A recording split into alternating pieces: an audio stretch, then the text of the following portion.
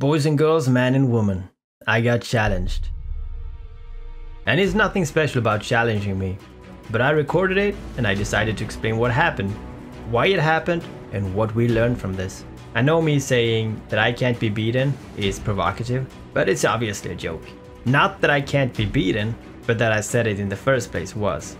Because there's probably many in the game, or at least a bunch, or a few, or at least a couple of people, I would think, that hasn't lost a one-on-one. So I'm not alone. There are more. But this got people to want to know more.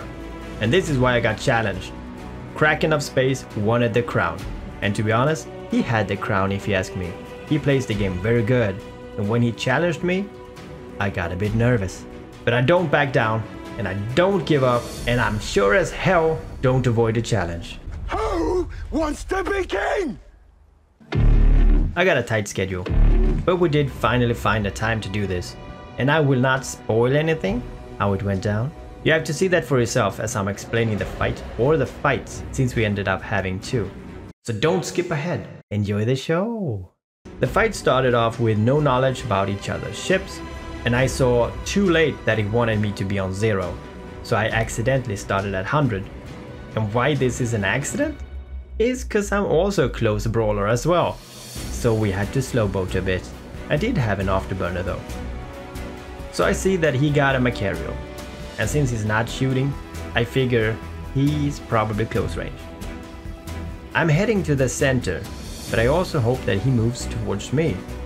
The reason for that is that if I get more webs on him, I can stop him and maybe get closer to the center when the sphere comes. And then he takes damage before me and I will probably win. But this is if we're both very tanky. And as I said, I have no idea what his fit is. He does approach me, so I keep that strategy in my mind. As I'm getting within the DPS range, I release my drones and I start. I figured I would change the drone, but I thought about that a little bit too late. The reason for that is that if he can't hit me, he will of course kill the only thing he can until I'm in range. And that will be my drones.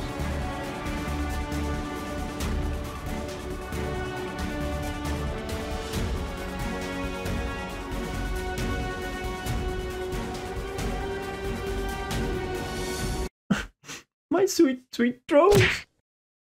So he kills my drones, and now I see we're close enough for using my sentries, in the hope that he will target me and leave them, since they will be just further and further away.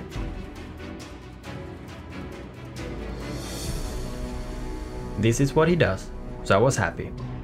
As we started brawling, he does some serious damage, and I activate my DCU, cause if he's using all his cooldowns on whatever he got, I need to hold that DPS down as much as I can. And in Ego Traverse, I can use this DCU 3 times before I need to save it for the end. I am still aiming for the center as well, but I am being webbed, so I just work on being closer to the center than him. And since his damage are that high, I am curious right now how his tank is, so I just keep my DPS up. And I'm very happy that I launched the sentries, because they do good damage.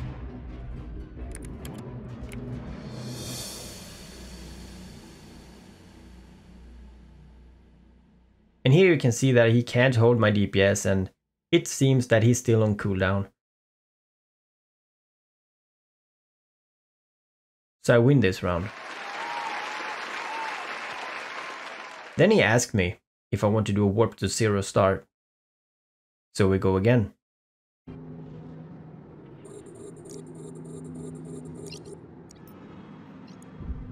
Here you can see that he's bursting so hard that my DCU is active right away. This is basically just a heavy brawl, and I feel that if I can only tank his burst, I will be fine. And I do feel I activated the DCU a bit too fast this time, so the damage he does bleeds through at the end.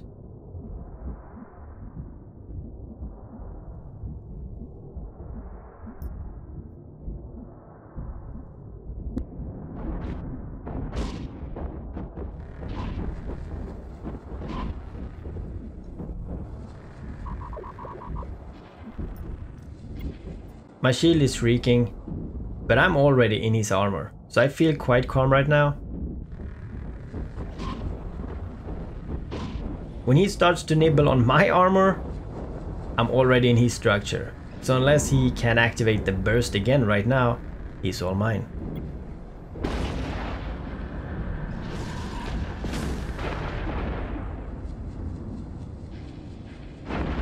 The burst never comes. And I still have enough tank for his DPS. And I also have enough DPS for his tank.